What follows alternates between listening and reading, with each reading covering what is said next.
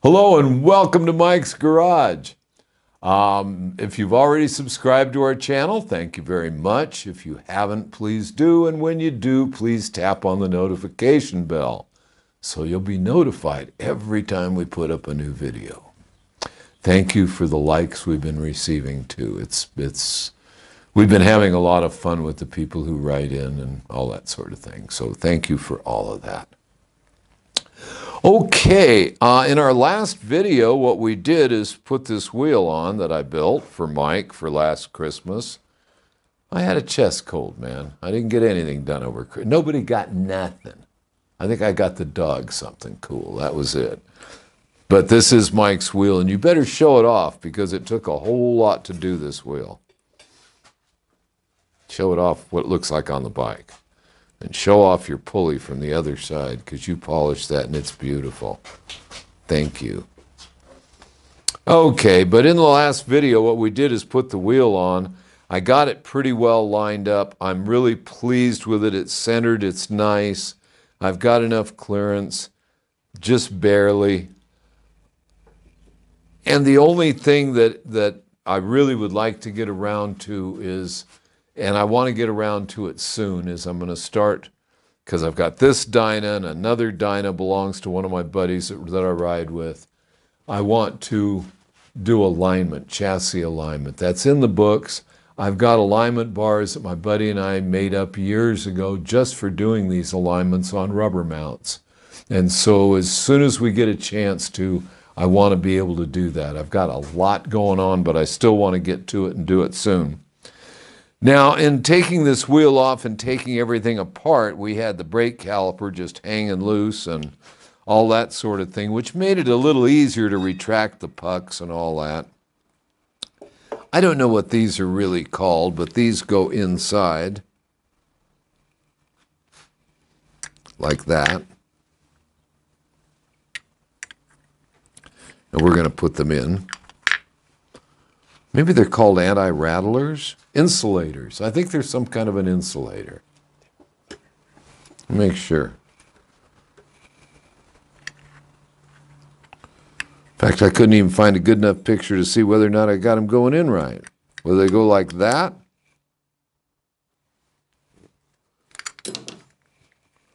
Actually, they go on the on the uh, left, obviously. Here.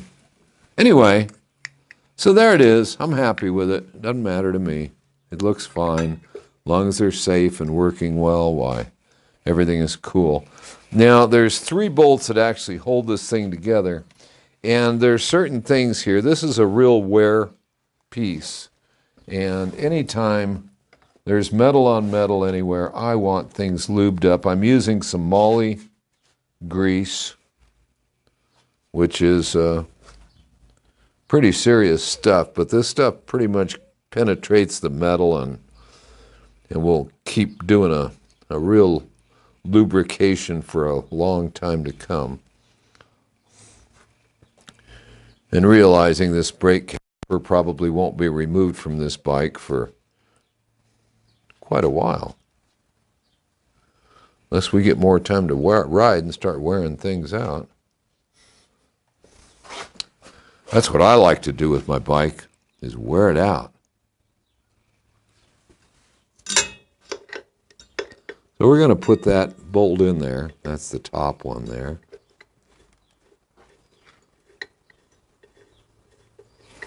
And it seems to me that that's a uh, 10 millimeter.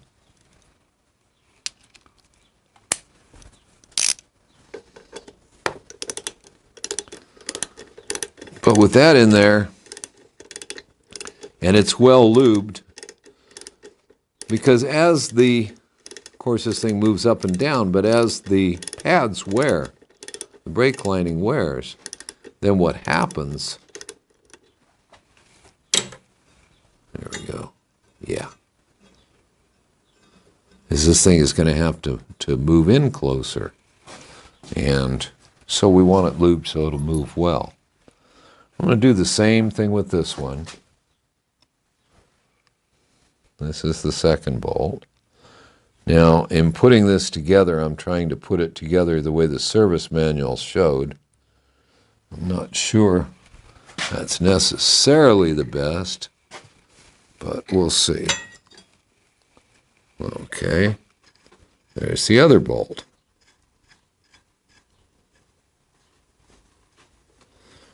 Now we can tighten those anytime we like. Now this one is the pin that holds the pads, and it's in pretty good shape.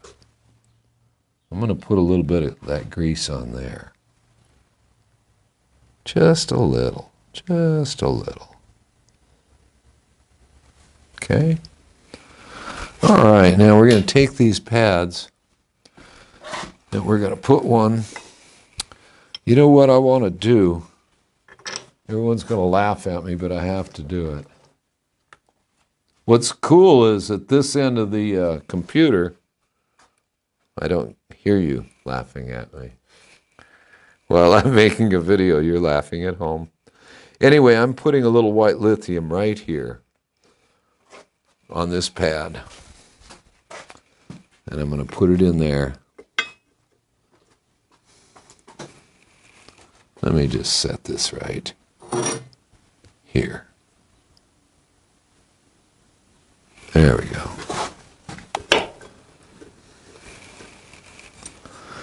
We gotta go up and hook that in there.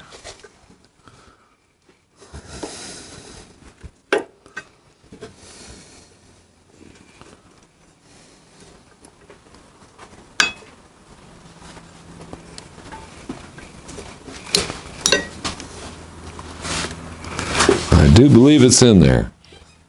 Can you see that from the other side, Mike? Mm-hmm. Is it in there? Mm-hmm. Good enough. You have to be sure. Let me get that white. You have to be sure that these square shapes right here mm-hmm. on the brake pad do actually register in their spot inside there.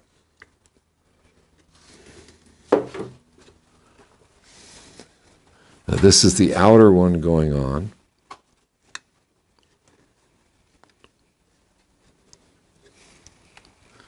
Let's see, will that help any to loosen that a little? I don't think so. Nah. Doesn't do anything.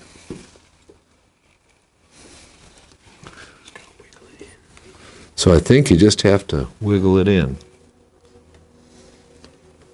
Oh, I don't like that at all.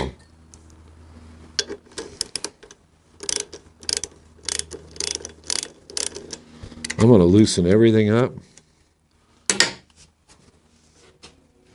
And I'm going to pull that caliper out a bit.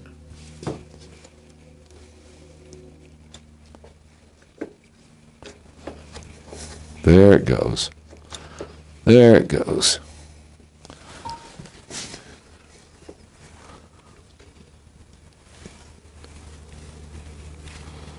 Let's see. I think, yep, it's going right in there. And there it is, slid right into place. Can you see that in there? Yeah. Mm-hmm. Okay, now I'm going to put the pin in here. Make sure I get it to register on both pads.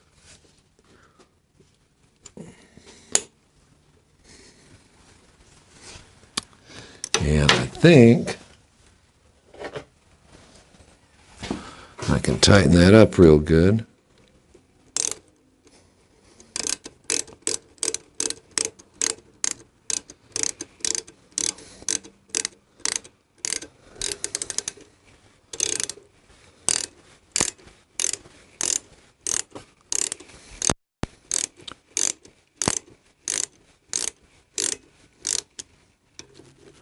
Wow. Had no idea it was that long. There it is. There is a torque spec on that. We're going to tighten these up.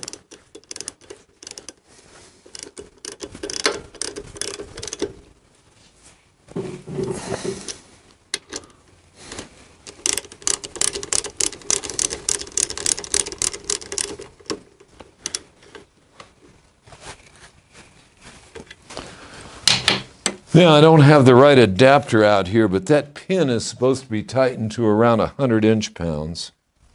And uh, I will do that when we're done here. I'll check it out. But there we have it. It's all together now.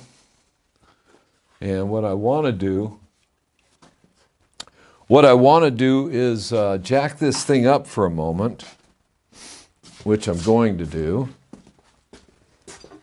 and uh, see what we can do here for a minute. I just want to test that brake. And the easiest way is while it's on the lift, to jack it up, spin the wheel. Of course, that wheel may be, may be actually frozen by now.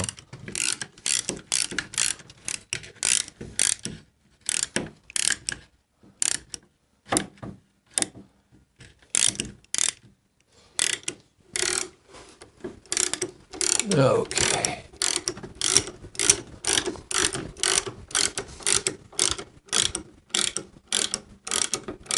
There we go. I think we got that wheel almost off the deck.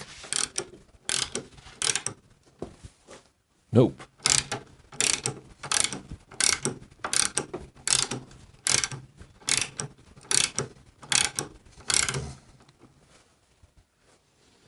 There it is.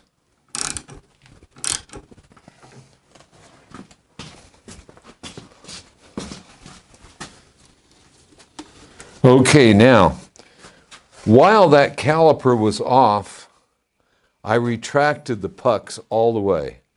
And what I did is I got a little block of wood and a C clamp, and I pulled and I just retracted those pucks all the way. So now, when I go to check the brakes, all of the fluid is going to be moved back, and there's not going to be any brake for a minute. I'm going to have to pump it up. I didn't expect that. It's up.